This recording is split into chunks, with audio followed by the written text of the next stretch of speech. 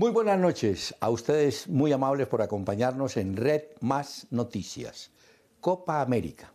No vayan a caer en la tentación que es de todos de comparar la Copa América con la Eurocopa de Naciones. Son dos eventos totalmente distintos, con actores diferentes y con un ritmo de juego diferente. Pero nos ocupamos de la Copa América porque ahí está la selección Colombia, que a propósito, a esta hora con su cuerpo técnico disfrutan en medio de todo, del partido Uruguay-Paraguay. ¿Por qué?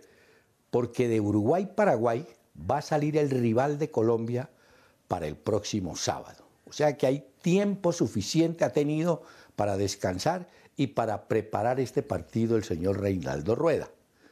Yo obviamente no soy técnico, pero de una vez creo que debo decir que para el partido, sea contra Paraguay o contra Uruguay, debe jugar, fíjense ustedes, para mí un solo jugador importante, que es Dubán Zapata. ¿Por qué?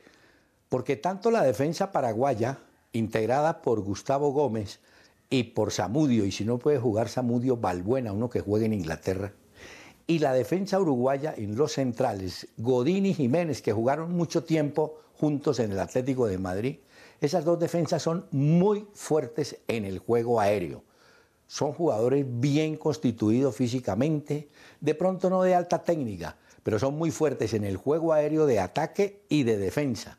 ¿Y por qué Dubán Zapata? Porque Dubán Zapata debe cumplir un papel de aguantarlos, entre comillas, de chocar con ellos, tiene con qué hacerlo.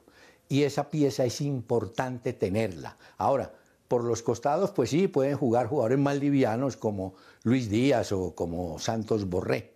Pero es fundamental, creo yo, la presencia de Dubán Zapata, independiente si es uruguayo o paraguay.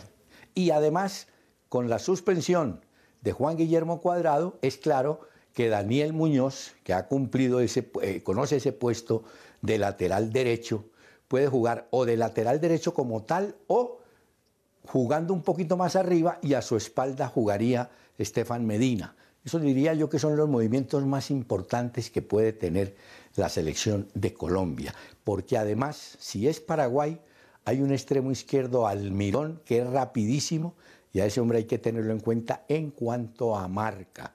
Uruguay sabemos que tienen a Suárez y a Cavani y ahí Jerry Mina y este muchacho Davinson tienen que extremar su condición en el juego aéreo.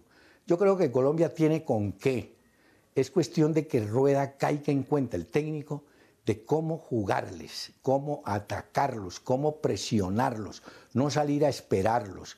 Está bien que hayamos respetado a Brasil, pero en este caso, contra Uruguay o Paraguay, hay que salir a frentear un poco más el, partido. Eso es lo, que yo estoy pensando. Muchísimas gracias por acompañarnos aquí en Red Más Noticias.